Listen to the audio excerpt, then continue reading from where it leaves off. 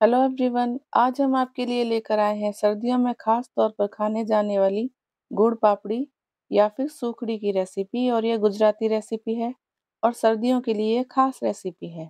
गुड़ पापड़ी स्वादिष्ट होने के साथ साथ बहुत ही हेल्दी भी होती है और इसके अंदर हमने जो गोंद और सौंठ पाउडर तथा गुड़ का यूज़ किया है, ये सारी चीज़ें हेल्थ के लिए बहुत ही ज़्यादा बेनिफिशियल है। तो फिर चलिए बनाना शुरू करते हैं। तो इसे बनाने के लिए हमने एक प्लेट या ट्रे ले ली है, जिसके अंदर हम गुड़ पापड़ी को सेट करेंगे।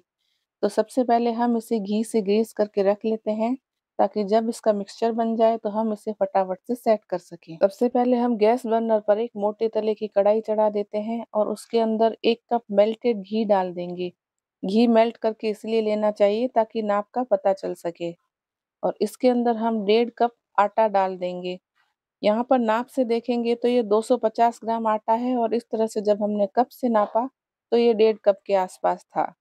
तो आप नाप का ध्यान रखें, जितना आपने आटा लिया है, उतना ही इस रेसिपी में हमें गुड़ भी चाहिए और उतना ही घी चाहिए। तो अभी हमने एक कप घी डाला है और ज़रूरत के हिसाब से हम इसमें थोड़ा थोड़ा घी और डाल लेंगे। हम जो नॉर्मल चपाती बनाने के लिए आटा इस्तेमाल करते हैं, ये वही गेहूँ का आटा है और आप चाहें तो इसके अंदर आधा आटा और आधा दरदरा आटा भी डाल सकते हैं, ये आपकी चॉइस है। और नाप से देखेंगे तो एक पाव आटा, एक पाव घी और एक पाव गुड़। इस रेसिपी के लिए सफिशिएंट होता है और ट्रेडिशनली यह सिर्फ़ इन तीन चीज़ों को मिलाकर ही बनाया जाता है।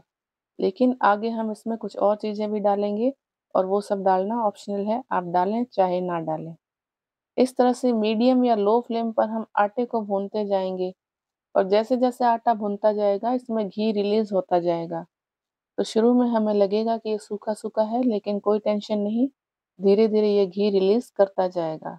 आटा जैसे ही हल्का हल्का ब्राउन हो जाएगा और उसके अंदर सौंधी सी महक शुरू हो जाएगी तो उस स्टेज पर हम यहाँ पर कुटा हुआ गोंद डाल देंगे। आप गोंद का पाउडर भी ले सकते हैं और चाहें तो इसके बड़े बड़े टुकड़े भी डाल सकते हैं, लेकिन अगर आप बड़े टुकड़े डालना चाहते हैं तो गोंद को अलग से घी में फ्राई करके डालें। और इस तरह से अगर पाउडर फॉर्म में डालेंगे तो आटे को भूनते वक्त इसमें डाल लें। इस तरह का बारीक कूटा हुआ गोंद आटे के साथ आसानी से भून जाता है और काम आसान हो जाता है। और आटा पूरी तरह से भूरा सा हो गया है, यानी कि ये सुनहरा ब्राउन हो चुका है और आटा भुन चुका है। और इसके साथ ही साथ गोंद भी भुन चुका है और ये पॉपकॉर्न की तरह पॉपअप भी हो रहा है। यहाँ पर सर्दियों में गोंद खाने के बहुत फ़ायदे होते हैं, ये हड्डियों के लिए तो बहुत ही हेल्दी होता ही है। साथ ही ये हमारे पाचन को भी मज़बूत बनाता है। और अब इसके अंदर हमने एक टीस्पून सौंठ पाउडर डाल लिया है। सौंठ पाउडर भी सर्दियों के लिए बेहद ही फ़ायदेमंद है और ये सर्दी जुकाम में भी राहत देता है और साथ ही साथ यह भी पाचन के लिए बहुत अच्छा होता है। क्योंकि सर्दियों में पाचन तंत्र कमज़ोर हो जाता है तो इस तरह की चीज़ें हमें खानी चाहिए। सौंठ और गोंद डालना ऑप्शनल है, लेकिन यह डालोगे तो यह बहुत ही हेल्दी हो जाएगा। और इसके अलावा अगर आप और भी कोई औषधि डालना चाहें तो वो भी डाल सकते हैं। और जब यह आटा पूरी तरह से भुन चुका है तो इसके अंदर हम डेढ़ कप, यानी कि पाव भर गुड़ इसके अंदर बारीक कूट कर डाल लेंगे और गुड़ को बहुत ही बारीक कूट कर डालना है ताकि ये आसानी से मेल्ट हो सके। और स्लो फ्लेम पर हम गुड़ को मेल्ट करेंगे।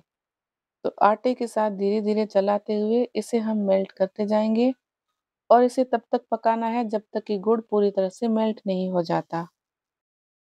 आटे में गुड़ डालने के बाद आपको अलर्ट रहना है कि यह जैसे ही मेल्ट हो जाता है तो इसे फटाफट से ट्रे में सेट होने के लिए रख लेंगे, क्योंकि यहाँ पर अगर इसे हमने बहुत ज़्यादा पका लिया तो ये सेट नहीं होगा।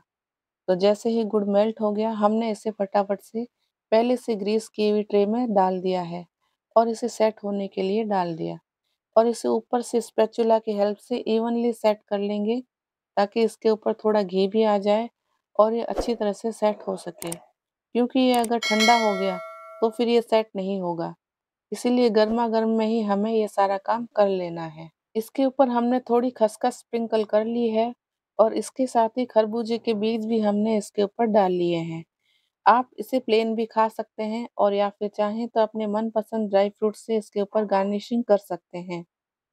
और अब गर्मा गर्म में ही इसके ऊपर हम कट लगा लेंगे। जितनी बड़ी या छोटी साइज़ के हमें इसके पीसेस रखने हैं, हम उस हिसाब से चाकू की हेल्प से कट लगा लेंगे। क्योंकि ये ठंडा हो गया तो फिर ये कटेगा नहीं और बिखर जाएगा। अब इसे कम्प्लीटली ठंडा होने के लिए साइड में रख लेते हैं और लगभग आधा या एक घंटा लग जाएगा इसे ठंडा होने में। और फिर हम इसे चेक कर लेंगे। आधे घंटे बाद हमने इसे चेक किया तो ये अच्छी तरह से ठंडा हो चुका था और इसके ऊपर जो हमने कट लगाए थे उन्हें एक बार फिर से रिपीट कर लेंगे। क्योंकि ये सेट हो चुका है तो एक बार उन्हीं कट के ऊपर वापस से कट लगा लेंगे ताकि ये आराम से कट सके। और फिर इसे एक प्लेट में निकाल लेंगे। तो देखा आपने बड़ी आसानी से हमने गुजराती गुड़ पापड़ी या सुखड़ी बनाकर तैयार कर ली है। और दिखने में ये जितनी स्वादिष्ट लग रही है, उतनी ही ज़्यादा ये हेल्दी भी है। और जब आप ये रेसिपी बनाना सीख ही चुके हैं तो फटाफट से इसे ज़रूर ट्राई करें। और आप भी इस रेसिपी का आनंद उठाइए और साथ ही साथ अपनी फैमिली को भी खिलाइए। और इस रेसिपी वीडियो को ढेर सारा शेयर और लाइक करना बिल्कुल ना भूलें। और इसी तरह की मज़ेदार रेसिपी जानने के लिए आज ही हमारे चैनल को सब्सक्राइब करिए।